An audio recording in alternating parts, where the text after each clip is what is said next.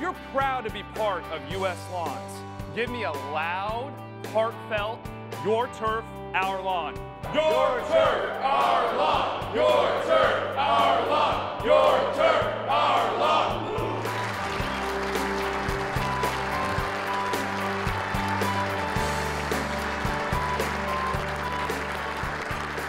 talk a lot about teams, and we need to because that's what makes life easy.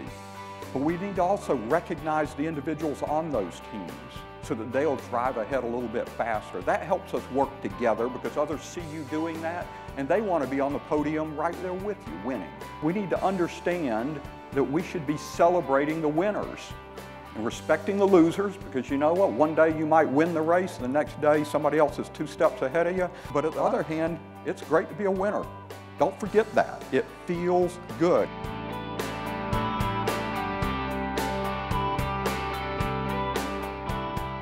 I can sit in front of somebody and say, man, you need to change. You need to change. And in fact, I'm going to hold you accountable for what you're doing.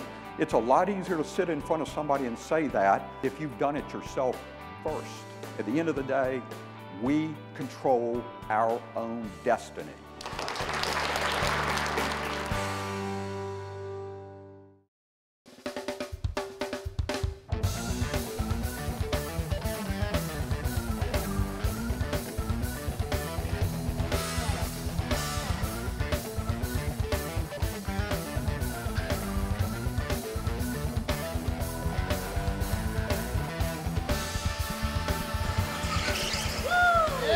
Yes, girl.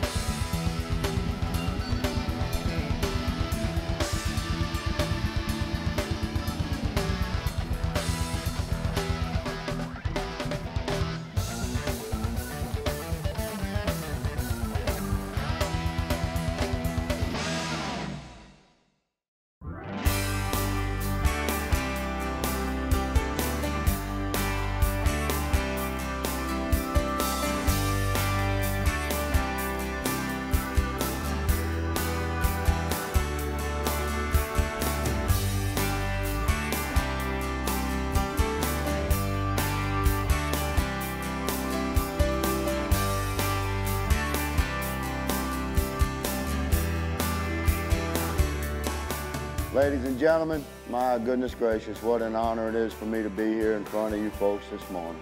You got here by sweat because you're workers, because you believe, because you're willing to take risk, because you're confident enough in yourself and your own work ethic, your character. You guys have got something beautiful happening here. You know what it is? It's a brotherhood, man.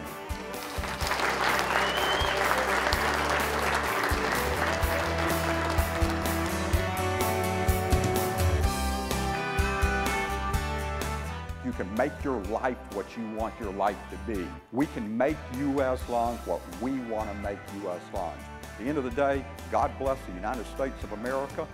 God bless U.S. Lawns. Your turf, our lawn. Thank you very much.